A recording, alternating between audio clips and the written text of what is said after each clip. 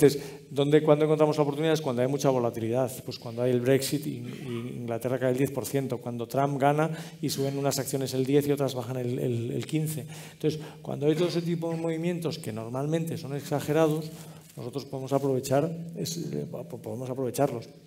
Y es lo que hacemos. Y, básicamente de ahí obtenemos las rentabilidades, de aprovechar la volatilidad. No de predecir la volatilidad, que es algo prácticamente imposible. ¿Qué van a hacer los mercados? ¿Quién va a ganar las elecciones? ¿Quién va? No, eso no, no puede ser, no, no, tiene sentido ninguno. En donde sí hemos visto que añadimos, añadimos valores en aprovechar esos movimientos a nuestro favor. O sea que encantados con la volatilidad.